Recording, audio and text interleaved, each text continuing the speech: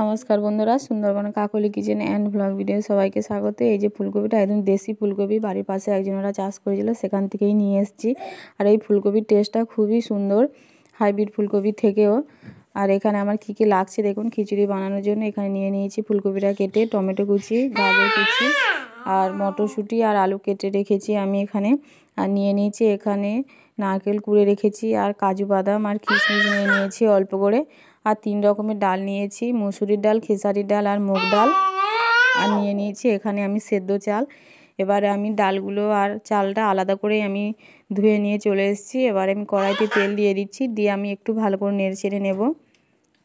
তারপরে নেড়েছে নেওয়ার পর দিয়ে দিচ্ছি এখানে ধুয়ে রাখা চালটা। একসাথে সব আমি ভেজে নেব নুন আর হলুদ দিয়ে।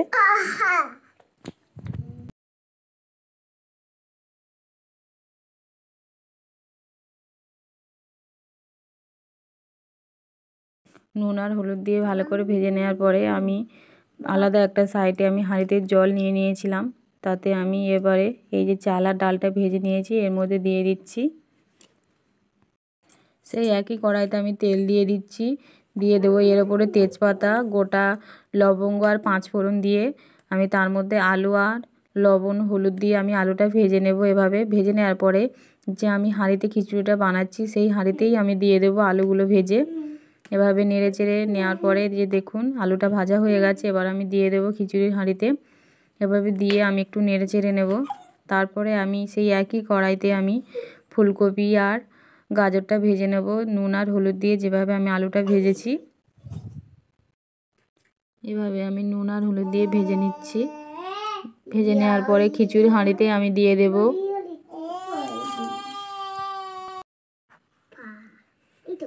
খিচুড়িটা একটু নেড়ে দেখে নেব।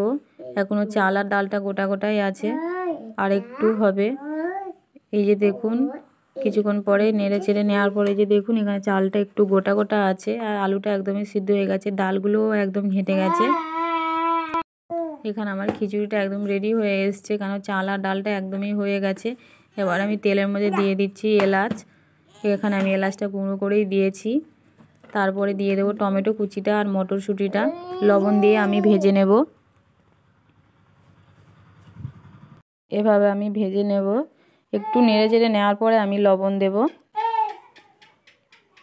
এবার আমি লবণটা দিয়ে একটু নেড়ে চেড়ে নেব। আর এদিকে আমি খিচুড়ি হাঁড়িতে দিয়ে দিচ্ছি কাজু বাদাম আর কিশমিশটা। দিয়ে আমি নেড়ে চেড়ে নেব। আর এদিকে দেখুন, টমেটোটা হালকা সিদ্ধ হয়ে এসছে, তাই আমি এর মধ্যে দিয়ে দিচ্ছি হলুদ গুঁড়ো, লঙ্কা গুঁড়ো। দিয়ে দেওয়ার পর আমি অল্প পরিমাণে জল দিয়ে আমি এটাকে কষে নেব ভালো করে।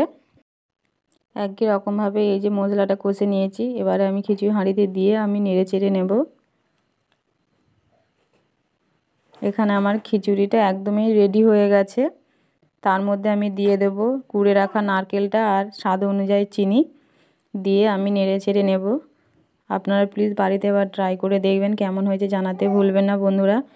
যে দেখুন খিচুড়িটা এখানে আমার রেডি হয়ে গেছে। এখানে আমি যা যা সবজি দিয়েছি, সবই সবজিগুলো দেখা যাচ্ছে এখানে।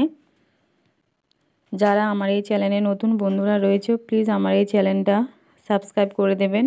আর আমার পাশে থাকবেন, এই যে দেখুন এখানে আমি একটা প্লেটে সার্ভ করছি।